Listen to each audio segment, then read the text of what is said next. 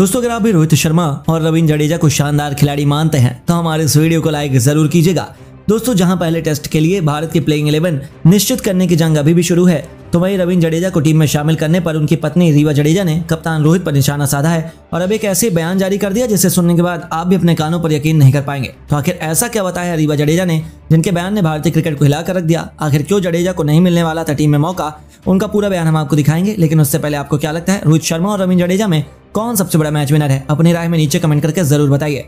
दोस्तों बीसीसीआई वर्तमान में कोई भी रिस्क लेने को तैयार नहीं है। उनकी रणनीति साफ़ है, जहाँ वह खेल के सबसे छोटे फॉर्मेट से सीनियर खिलाड़ियों की छुट्टी करते नज़र आ रहे हैं।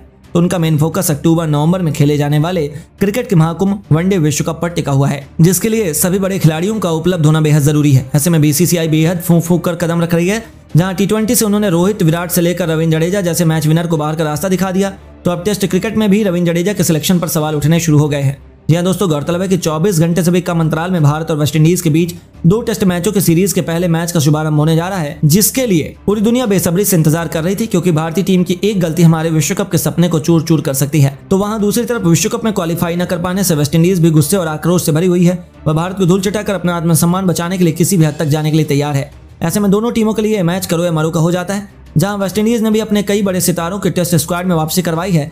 तो वहीं दूसरी तरफ़ बीसीसीआई अपने सबसे बड़े मैच विनर खिलाड़ियों को बाहर करने पर तुली हुई है। इसका सबसे बड़ा उदाहरण है चेतेश्वर पुजारा, जिन्हें टेस्ट सीरीज़ से बाहर का रास्ता दिखा दिया गया है। तो वहीं अब सीनियर खिलाड़ियों के सिलेक्शन पर भी सवालिया निशान उठ रहे हैं, जहाँ खुद कप्तान रोहित शर्मा से लेकर रविंद्र जडेजा, अश्विन और भी टीम में शामिल करने पर काफ़ी विवाद हुआ था। तो वहीं मोहम्मद शमी को तो बिना किसी कारण के टीम से बाहर निकाल दिया गया। ऐसे में, दोस्तों, जहाँ एक तरफ़ भारतीय क्रिकेट में बवाल मचा हुआ है तो यह कह पाना बेहद मुश्किल है कि आखिर किन ग्यारह खिलाड़ियों को टीम इंडिया में मौका मिलने वाला है। तो इसी बीच रविंद्र जडेजा की पत्नी रीवा का भी एक बयान सामने आया, जिसमें बीसीसीआई को आईना दिखाते हुए रीवा ने कहा कि बीसीसीआई ने बहुत बड़ी गलती की है। यह विश्व कप का साल है, ऐसे में आपको सबसे बड़े मैच विनर खिलाड़ियों पर सबसे ज़्यादा ध्यान देना चाहिए। लेकिन भारतीय क्रिकेट बोर्ड तो उन्हें अलग थलग करने पर तुला हुआ है। उनकी गलती की वजह से यदि हमें विश्व कप में हर जाना भुगतना पड़ेगा तो इसके लिए हम उन्हें माफ़ नहीं कर पाएँगे।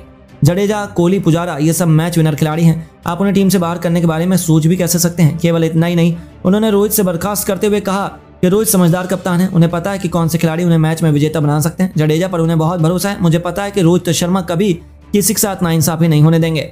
हमें पहले टेस्ट मैच में भारत की सबसे मज़बूत टीम खेलती हुई दिखाई देगी। All the best Rohit, Jadeja and team India जी हाँ दोस्तों, रीवा का यह बयान देखते ही देखते खूब वायरल हो रहा है। लेकिन अब आपको क्या लगता है? वेस्ट इंडीज के खिलाफ खेले जाने वाले पहले टेस्ट मैच में कौन बनेगा man of the match Rohit, Jadeja, Kohli या फिर कोई और? हमें नीचे कमेंट करके ज़रूर बताइए। और ऐसी शानदार खबरों के लिए हमारे चैनल को सब्सक्राइब करना ना भूलें। धन्यवाद।